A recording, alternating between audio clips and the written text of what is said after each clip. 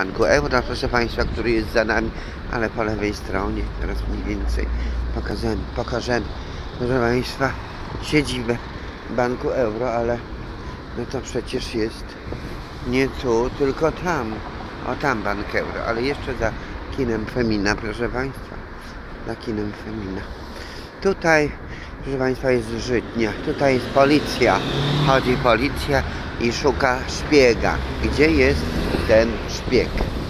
No ale wiecie Państwo, czasem przejść się trzeba, bo na komisariacie też są nudy na pudy.